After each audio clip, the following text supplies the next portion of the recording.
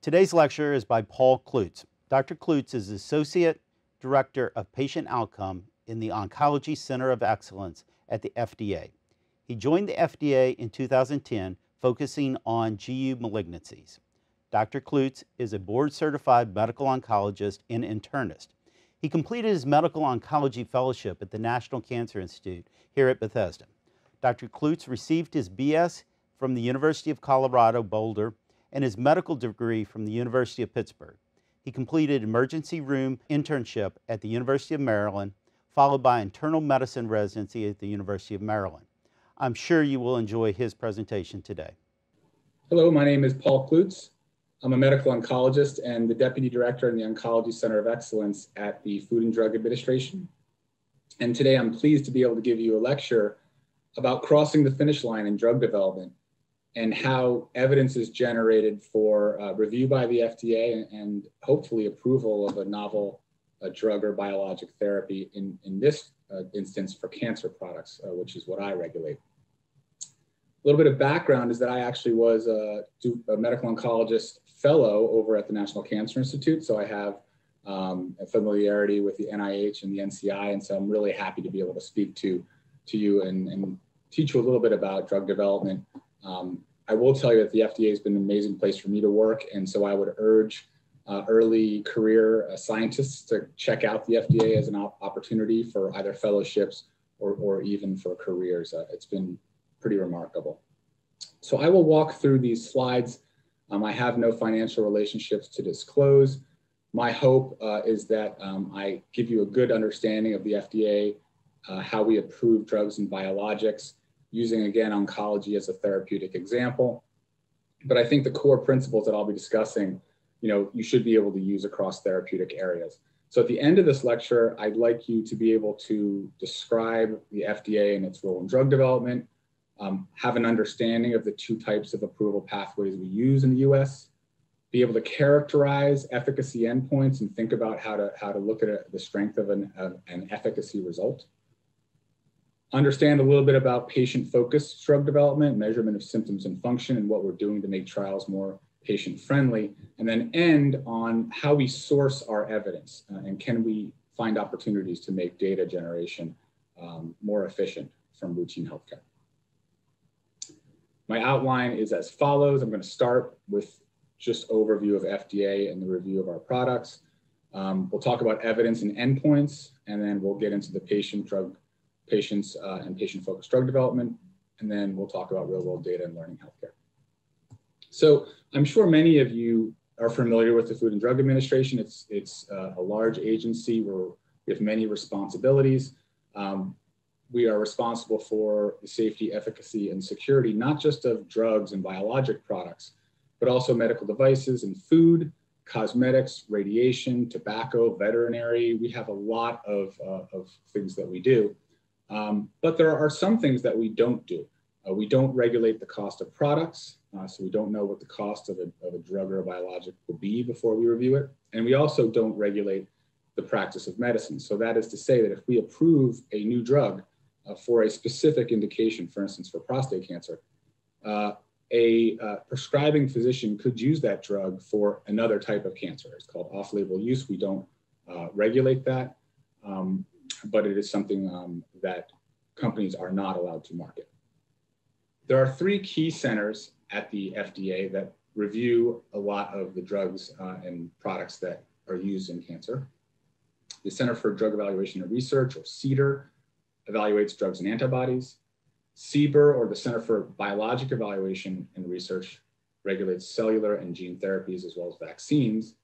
And CDRH, or the Center for Devices and Radiologic Health, will regulate devices in vitro diagnostics and diagnostic and therapeutic radiologics. Now, if you've been following cancer research and development of cancer products, you know that uh, cancer touches these three centers uh, and it's a very active area. Uh, we have many biologic products like CAR T cells, uh, therapeutic vaccines under development. Clearly, it's been a remarkable decade in drug development for anti-cancer therapies. And with the advent of precision medicine, uh, identifying uh, through in vitro diagnostic tests populations of cancer uh, patients who will benefit greatly from a targeted drug, we interact a lot with the Center for Devices. And so uh, we have a new uh, center, the first Inter-Center Institute uh, that was formed under the 21st Century Cures Act called the Oncology Center of Excellence, recognizing that this therapeutic area of oncology really um, was uh, very active across the centers that having um, an intercenter institute to coordinate the clinical review uh, of all of these products would be helpful. And our vision is to create a unified and collaborative scientific environment to advance development and regulation of oncology products. And so it's been very rewarding to work across all these centers um, for oncology products. Now, one thing I'll mention as uh, someone who works for the Food and Drug Administration now for the last 10 years is that it is quite a balancing act. Uh, and there are many people um, that are either uh, concerned that we are being too cautious or concerned that we are asleep at the wheel. Uh, and uh, it's very hard to find the balance. So I like this slide because it really shows on the x-axis specifically that if you want complete certainty about the safety and the efficacy of a product, it's going to require a lot of data and typically longer trials and more trials. And that's, you know, can cause regulatory burden. And the more and more we ask that go down that road on the x-axis to the right, the more we will be called too cautious, stifling innovation, and there'll be calls to reduce regulatory burden.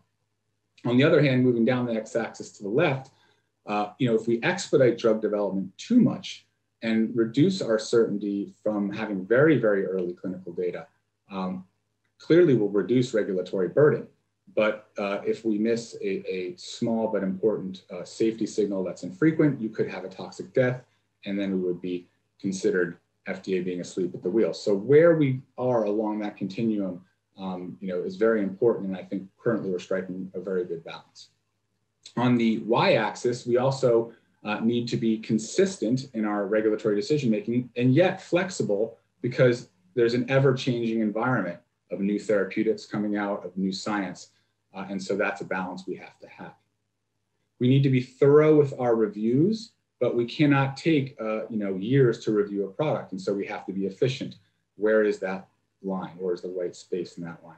And then finally, with respect to interacting with the outside world, we need to be very independent and conflict free at the FDA, and we are but we can't stay within our walls and not reach out and understand what's happening with patients, with industry, uh, with academia. And so you'll see that we are, especially in oncology, quite interactive, uh, working at uh, you know professional society meetings on panels uh, to uncover potential novel approaches to drug development. And that's actually part, part of the fun of our job.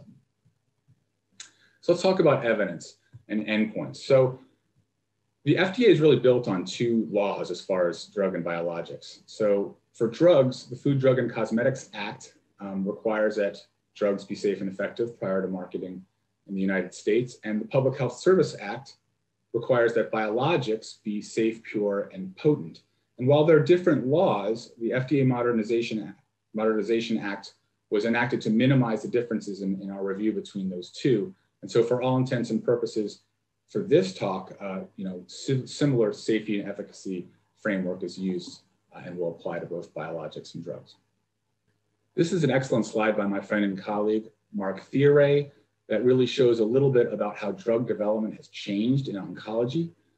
This slide currently shows the, the classic phase drug development paradigm, where in yellow, non-clinical studies are conducted to identify a safe starting dose uh, for humans uh, the company will then come to the FDA and present this non-clinical information, uh, and we allow a drug to be uh, investigated in humans through an IND. In early clinical trials, uh, we look at pharmacology, do dose escalation trials to find uh, the, maxim, the maximal dose or several doses that we feel could be further explored. And we move into the green section where we look at phase two studies, identifying, maybe looking at two different doses to find the optimal dose to take into a larger trial. And then we really start to understand uh, evidence for efficacy in a large randomized therapeutic confirmatory trial, um, maybe with a survival endpoint uh, to move to a regular approval licensing application. This obviously is a step-by-step -step process that can take quite a long time. Now, what is happened in oncology is we've learned, as we've learned more about the biology of the disease, is we've moved more into a seamless development paradigm. And what it has done is really collapsed um, that sort of pharmacologic, therapeutic, exploratory uh, clinical development. Uh, and this has been possible in oncology because we have an early clinical endpoint of benefit called response rate, the percentage of patients whose tumor shrinks. And so with the advent of the accelerated approval pathway, which we will talk about, it may be that there's such a significant uh, uh, signal of efficacy through response rate and early clinical endpoint that we can actually bring that product for review uh, in a licensing application for an NDA or new drug application and granted accelerated approval based on this early endpoint and, and enough safety data to understand the drug, expediting the access to patients for this therapy that may provide benefit over existing therapies. And then we further explore in the post-marketing setting this larger confirmatory trial set, exploring more safety, verifying uh, the efficacy, uh, and eventually granting it regular approval uh, once those trials are completed. So we really have changed how we develop drugs and regulate drugs in cancer. I mentioned briefly uh, the idea of an accelerated versus a regular approval pathway. And indeed, there's two approval pathways in the United States, uh, regular or accelerated approval. And which pathway uh, one takes is really dependent on the endpoint uh, of the study, uh, the magnitude of that result, the disease context, and whether there's an unmet need, how many available treatments there are, and whether this is a larger effect than available treatments, among other considerations. So it's not just about the endpoint. When we think about regular approval, we think about endpoints that are typically survival, uh, they could be symptom or functional benefit, uh, or an established surrogate. And these are usually larger randomized trials that have larger safety databases. Uh, importantly, when you're granted regular approval based on, the, on these larger uh, sets of, of evidence, uh, we do not require a comparative efficacy requirement. So that is to say that the drug simply needs to be shown to, to be safe and effective, as safe and effective as an available FDA approved therapy. So this allows for non-inferiority trials, which are used quite a bit actually outside of oncology. Another thing that is sometimes misunderstood, especially for, uh, for cancer, is that overall survival is not required. A benefit in overall survival is not required for us to grant approval to a drug. It can show benefit uh, based on, um, on tumor-based measurements, as we'll talk about. Accelerated approval, to get into this uh, a bit more, is an expedited program that was developed in 1992 in the era of the HIV uh, epidemic to try to expedite the delivery of therapies with early clinical data that appeared to provide uh, a benefit over available therapy. So for accelerated approval, it needs to be a severe and life-threatening disease. There still needs to be substantial evidence of efficacy and safety, but that efficacy could be based on an earlier clinical endpoint that's reasonably likely uh, to predict clinical benefit.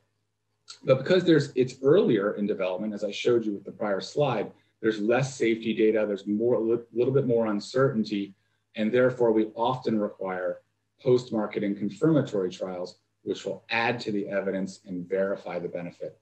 Uh, and importantly, if that those trials are not conducted, they're requirements. If they're not conducted, or if the results do not verify benefit, that accelerated approval can be withdrawn from the market. Now, as we get into the idea of the strengths and limitations of, of efficacy endpoints, uh, since we're using oncology as an example, I want to walk you through uh, our oncology endpoints so that you understand a, a, bit more about the typical natural history. So on this slide, you can see that this is tumor size. These black uh, blotches are, are, is a tumor uh, in a patient's body. Uh, you can see that at the initiation of therapy for a trial, it will be a certain size, and that's called the baseline size of the, of the tumor. After about eight to 12 weeks, um, and this is actually true in, in, clinical practice oftentimes, we will rescan the patient and evaluate the size of the tumor to see if the therapy is working. If the, if the tumor has shrunk a significant amount, 30%, we call that an objective response rate. So we have an early clinical endpoint um, that we can use for accelerated approval. And indeed, that's the most common accelerated approval endpoint, and it occurs very quickly.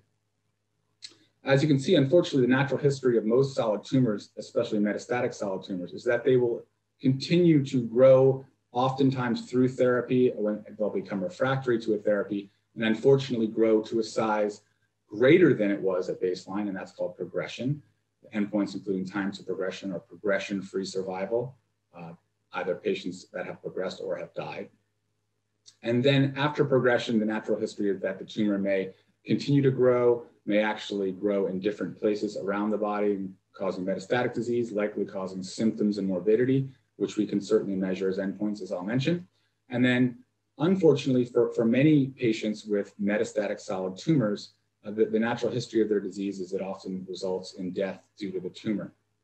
Now, here I have written overall survival as the endpoint. I just want to touch on that. We're not uh, using the endpoint disease specific survival. We're not measuring only those events that were specifically deaths due to the disease. And there's a reason for that. It's because it's pretty hard to attribute someone's death to metastatic cancer versus to some other comorbidity oftentimes. Typically when a patient dies, um, you know, they may die from heart failure, they may die from pneumonia, they may die from many, many things that could be related to the cancer, but may not be specifically related to the cancer itself. So there's the that problem.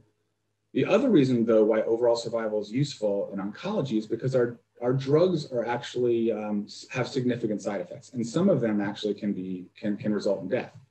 Um, so it is actually a bit of a safety endpoint as well. So imagine a therapy that does a pretty good job uh, at, at, treating the uh, the tumor and delaying the tumor growth, and there's some delay in death and therefore a survival benefit, a disease-free survival benefit, or sorry, a disease-specific survival benefit.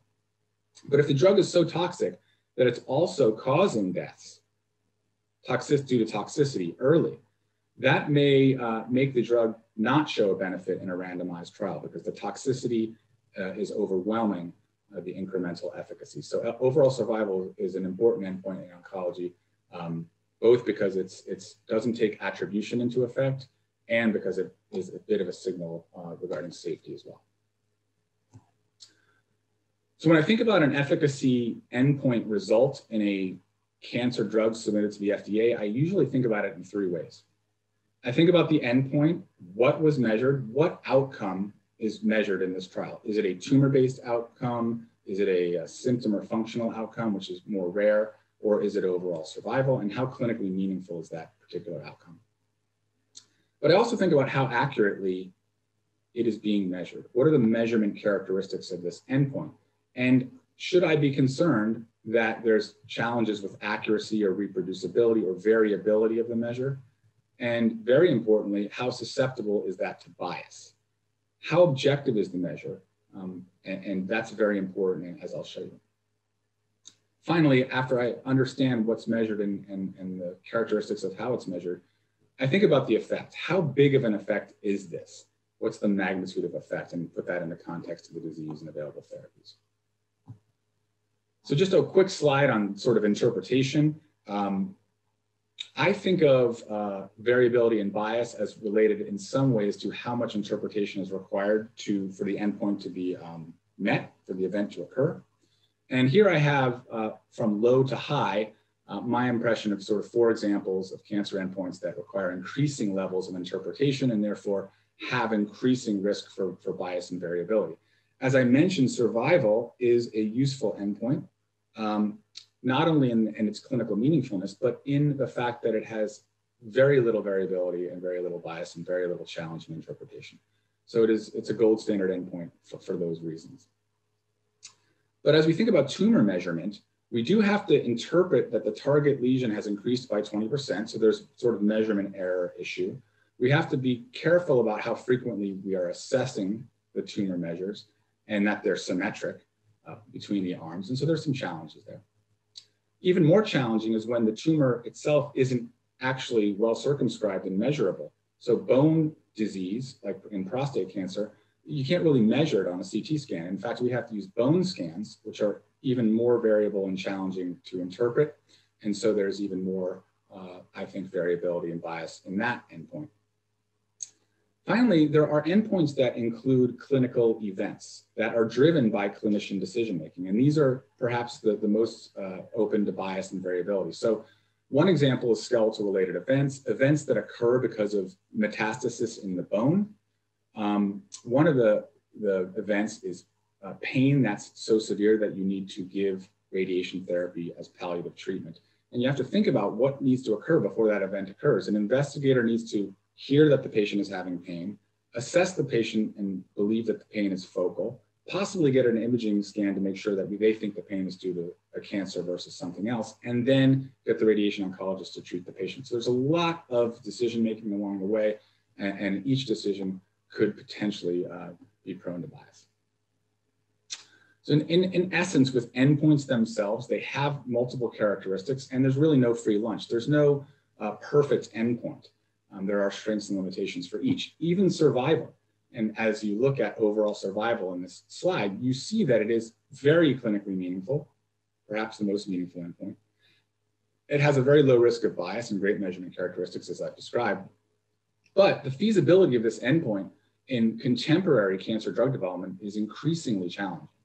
Uh, number one, it takes a long time in a large trial and requires randomization um, because it is the final event uh, in the natural history of the disease. But we'll talk about other reasons why contemporary drug development with very high early signals of benefit with response rate make it a challenging trial uh, to not allow patients on the alternative arm getting regular therapy to cross over and have access to that investigational therapy, which can really dilute a survival result.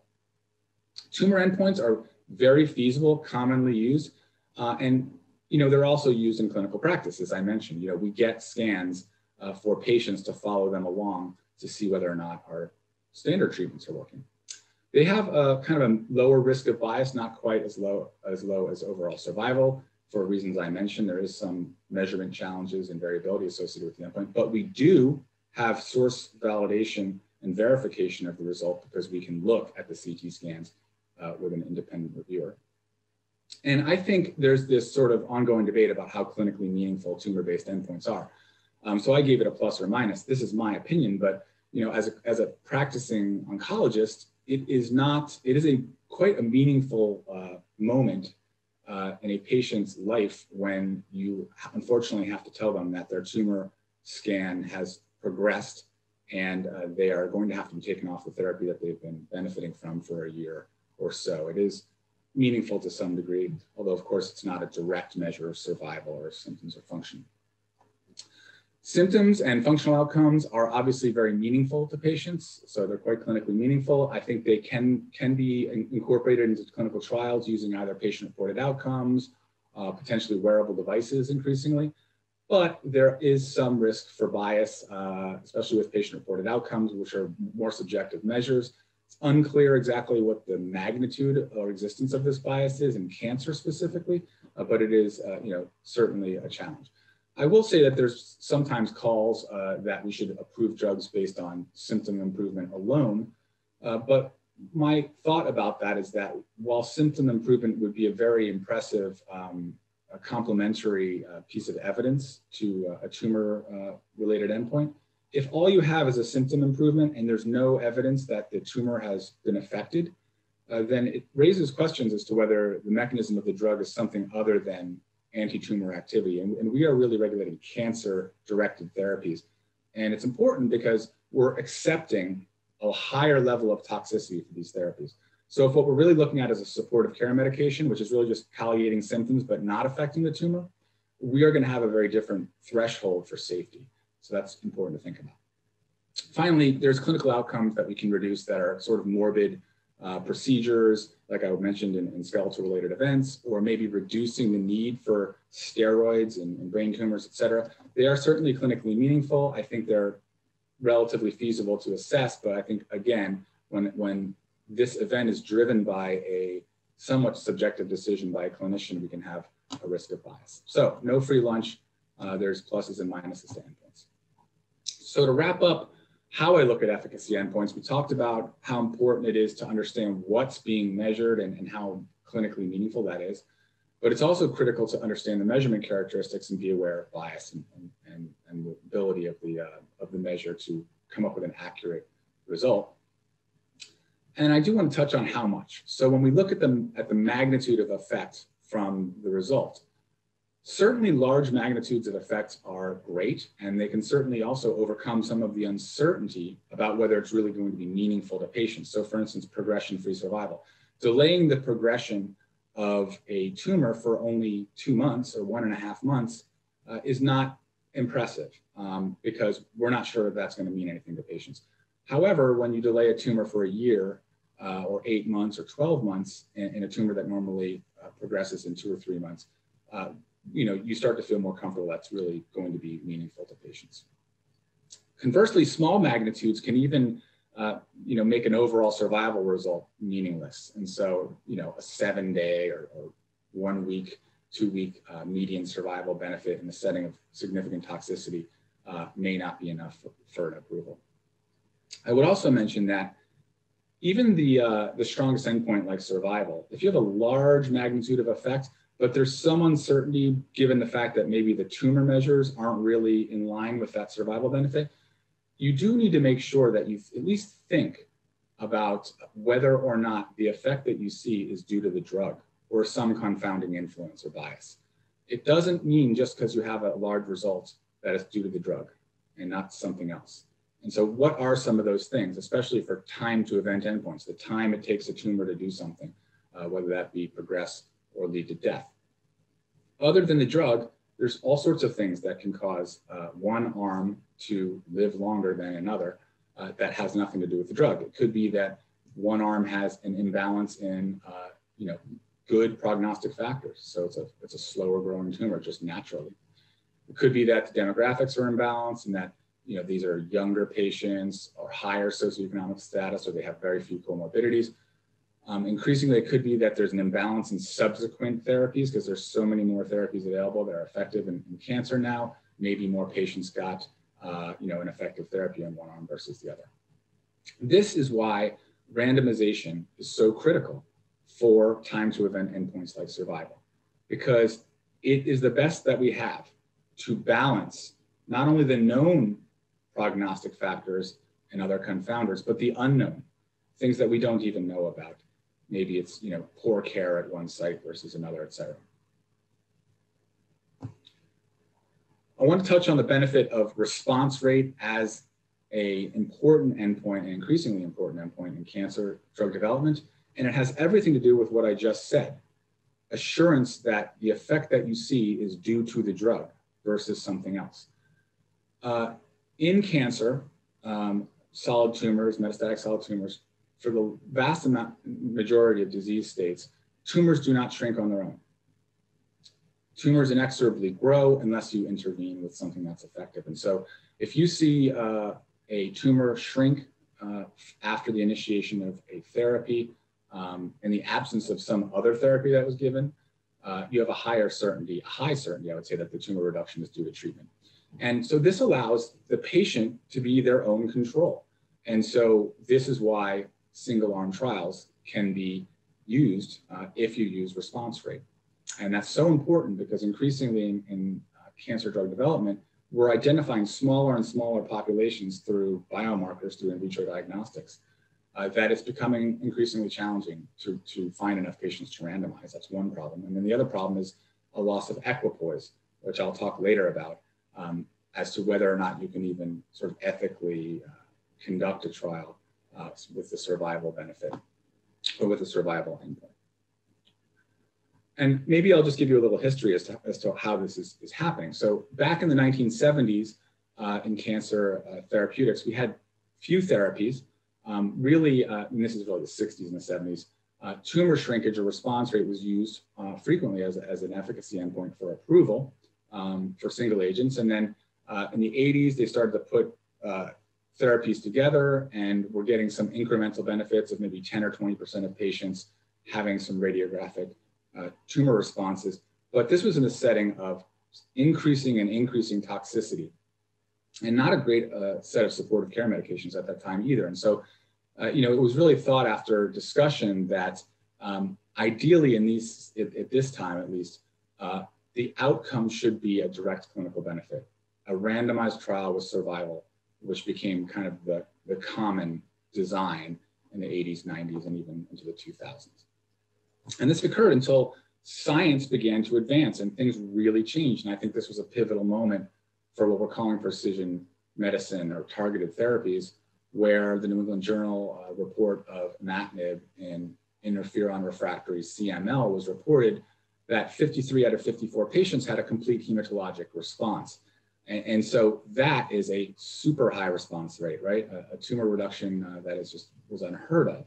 And uh, Dr. Druker and his colleagues wrote that our, their results demonstrated the potential for the development of anti-cancer drugs based on the specific molecular abnormality present in human cancer. And that, of course, heralded well what has happened uh, subsequently over the last you know 20 years and you know what has happened as you see those sorts of response rates in, in the earlier clinical trials has really forced that change in the drug development paradigm in cancer to more of a seamless oncology design and it has challenged equipoise for large trials so when i talked about clinical equipoise what i meant is that when you have equipoise there's uncertainty in whether one arm is going to win or not. You have enough uncertainty in that investigational drug that you feel that it is ethical uh, to run that trial.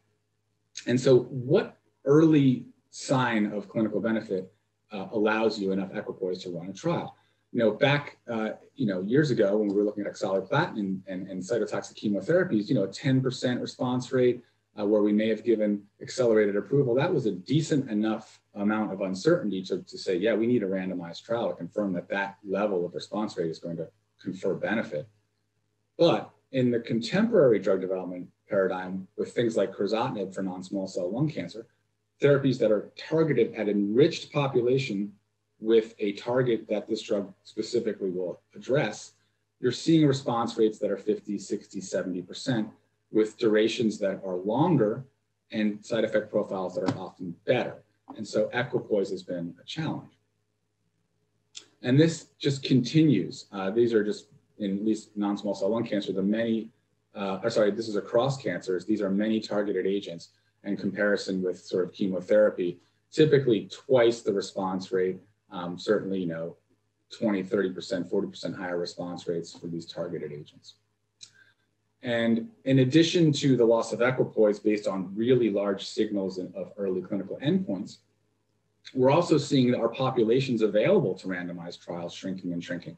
So this is a, a great slide by my former colleague, Gideon Blumenthal, that showed, you know, non-small cell lung cancer 20 years ago was thought of as a, as a single disease.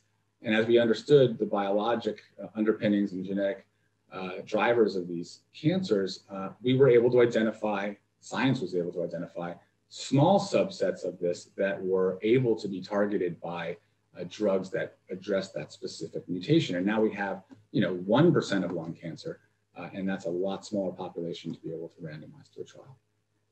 One may ask, and it has been asked, whether approving drugs based on tumor-based endpoints like progression-free survival uh, or response rate is really helping patients in the long run. And, and a great study was uh, put out in the New England Journal last year uh, by folks at the NIH regarding um, uh, how non-small cell lung cancer uh, survival, two-year survival, had increased um, higher than the incidence of the disease has been decreasing, suggesting that um, that therapeutic advances, specifically in precision medicine over this time frame, um, really did drive uh, an improvement in the whole disease as a, as a whole. You might say, well, maybe that is just because people are smoking less and there's less incidence of lung cancer. But in fact, when we looked at, or they looked at small cell lung cancer, uh, which is a, uh, a, cancer that unfortunately has had very little drug development or drug approval in the same time frame, they did not see that uh, degree of improvement in survival. So I'm going to move on now to how we are sort of moving more towards incorporating patients and thinking about patients in drug development uh, and improving trials. So this is a slide by my colleague Theresa Mullin um, that I've adapted where, you know, the question is, is where and how, how do you involve patients during drug development? And so I think she suggests, and I agree, that you can incorporate patients all along the way from very early on before trials were even started to understand the disease natural history and what's important to patients. And can you measure it? Uh, so it may be, you know, if there's certain symptoms that are important to patients, you would then need to identify a tool that you can measure it with. In the clinical studies area, there are two things we can address. Number one is how are we running trials right now? And could we make them more patient friendly? And the second is when we heard what matters from patients in the translational phase, are there tools we can use in deploying clinical trials to assess complementary information on symptoms and tolerability and functional outcomes? And then how can we incorporate these, this patient-related data in our FDA reviews and the pre-market review? And then finally, even in the post-marketing setting, when the drug is out on the market, um, you know, can we communicate this, this patient-centric data out to further uh, sort of inform the drug's risks and benefits? And is there are there easier ways to generate even more data in the post-marketing setting to understand the drug in, in the generalized population? Most of our work actually has been up front, and I think we've made some strides that I just wanted to mention. So when you talk to patients, and we have in what we call patient-focused drug development meetings that are formal meetings with the FDA, but also just in my everyday work and in, a lot of the uh, sort of conferences that I attend, I speak to a lot of patients, I speak to a lot of advocates um, and really what matters to patients, in addition to controlling their tumor and, uh, and living longer, is they want to know how they're going to feel and function better before they take a therapy. How did patients uh, experience that treatment while they're taking it? And it has a lot to do, I think, with what are they're going to give up for, for the benefit they're going to receive. What's the quality of their progression-free survival? So it's, it's been a long asked question and, and typically sort of drove the health-related quality of life field. So there's a big interest in measuring symptoms and function better now. Why now? I think one of the drivers is that there's so many more effective therapies that are approved and it'd be uh, better to have information uh, to make an informed choice where there's two choices to be had. I think there's technological improvements that are making this easier, whether that's electronic capture of surveys or patient-reported outcomes on, on how they're experiencing symptoms, uh, or whether it be more novel approaches to measuring function and activity like wearable devices, Fitbits, um, Apple Watches, et cetera. We have work uh, in both of those areas. Also, I think clinical care is actually starting to use patient-reported outcomes more uh, to monitor patients and intervene and, and, provide supportive care, specifically symptom side effects, sort of patient-reported outcome measures that have been advanced by Ethan Basch at the University of North Carolina and others. And there are new PRO instruments like the PRO-CTCAE by the National Cancer Institute, which are just more flexible libraries of specific patient-reported symptom questionnaires that you can custom tailor to the, to the drug that you're studying. So there's a lot of things that have come out recently that have helped advance this field. But when we're asked to use it, the FDA is asked to use sort of quality of life types of, uh, of measures, we really thought carefully about what was it that was going to help inform our regulatory decisions? Because as I mentioned, just because an endpoint or a measure in a trial is meaningful doesn't mean that it's a good endpoint from a measurement characteristic standpoint. So it has to be important to patients, but it also has to be sensitive uh, to informing the intervention that we're studying, whether, whether it's a drug or a biologic. And if we can find that, uh, it can inform our regulatory decisions. And so what we've done is created a, a core set of, of symptom and functional outcomes that we feel um, are a general starting point, a core set that, that we think could inform our trials. They include things like disease symptoms, uh, symptomatic, expected symptomatic adverse events, a global question about how bothered patients are about their side effects, a measure of physical function, and then a measure of, of how patients are able to work or, or, or enjoy their leisure activities. So it's a pretty narrow group of outcomes compared to larger health related quality of life instruments and their disease modules. And what we hope to do is expand our palette of evidence when it comes in to the FDA for safety uh, and efficacy review. So what we do well now, we've been talking about in blue is our standard uh, efficacy markers of survival, progression-free survival, and overall response rate. We have uh, very good standardized safety data that are reported by clinicians uh, common terminology criteria for adverse events, or CTCAE safety data. It's very standardized.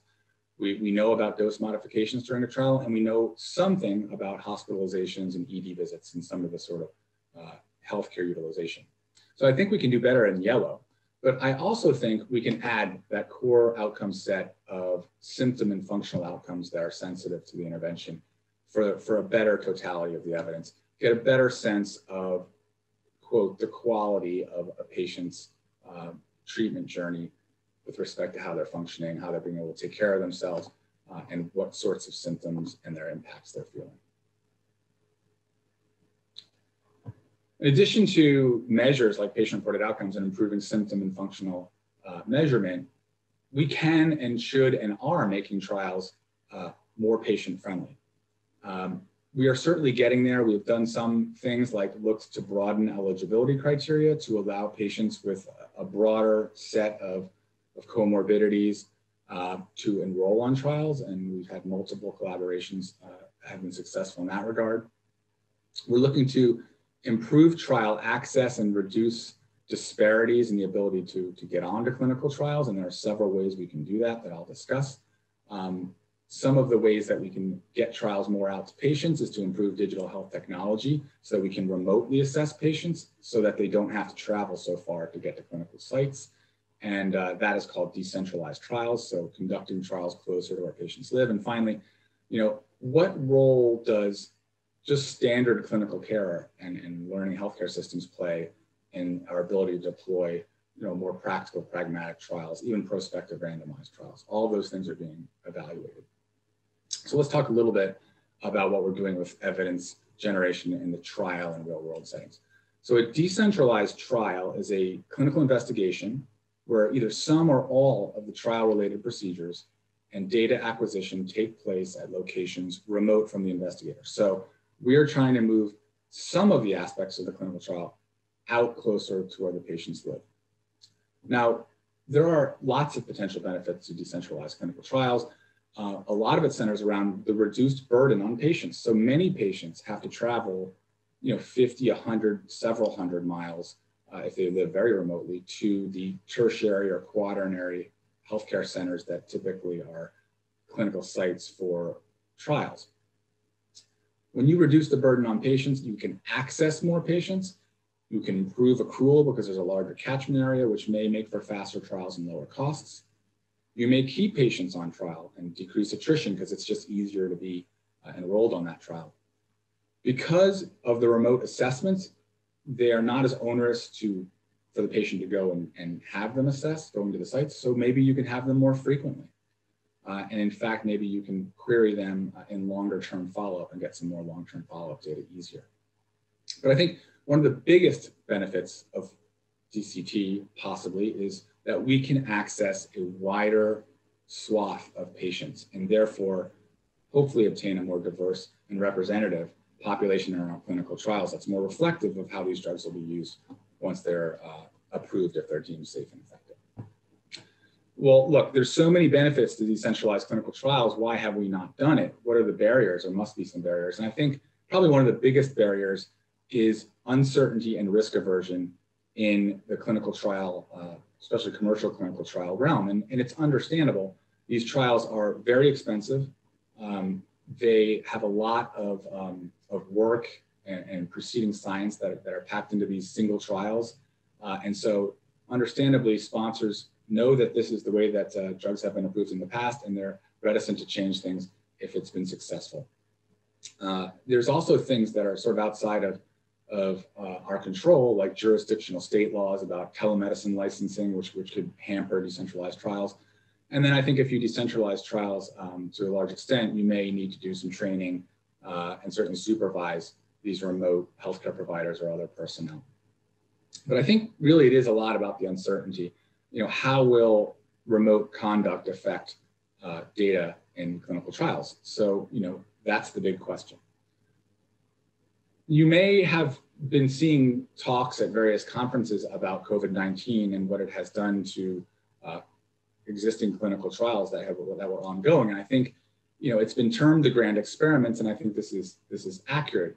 It certainly is the silver linings to an otherwise terrible public health crisis, because what it has done, it is is forced industry, regulators, academics, uh, and, and even patients outside of their comfort zone to deploy rapidly these remote assessments that we've been talking about that are key to decentralized clinical trials. Because the risk of traveling and going to a site where there may be a high COVID rate because they were being hospitalized, uh, that risk outweighed the risk of changing what had been done uh, before. And so remote clinic visits through telemedicine, remote labs, remote imaging, remote administration of investigational product and site monitoring were deployed um, so, or at least permitted across a wide range of trials during COVID. So what can we learn? And what we're going to be doing is, uh, is looking at that data as it comes into the FDA, and we hope uh, that we'll learn uh, how to continue to deploy some of these remote assessments post-COVID um, and, and deploy them in a way that maintains patient safety and, and maintains trial integrity. Another thing that has been looked at a lot is what's called real world data. Well, what is real world data? Real world data is data relating to patients' health status or the delivery of healthcare that's just routinely collected from a variety of sources that are not clinical trial sources.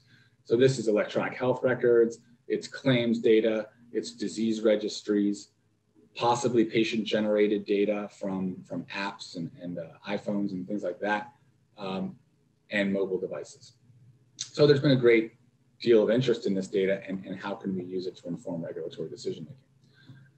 But I would, you know, suggest, and I think this has been made clear by the FDA, that real world data is not real world evidence. And so work needs to be done uh, to assure that we understand enough about real world data to allow it to be considered evidence um, that will uh, help us understand the risks and benefits uh, or other regulatory questions for medical products.